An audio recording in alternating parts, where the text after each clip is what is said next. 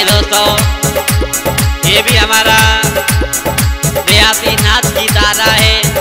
एक स्त्री जो है अपनी सास को समझाए कि बोली, मैया, तुम्हें ना मालूम कौआ आओ और बाजरा उठाए, ले गो, दानों का का कह रही सासुर तो सुन ले, मैया।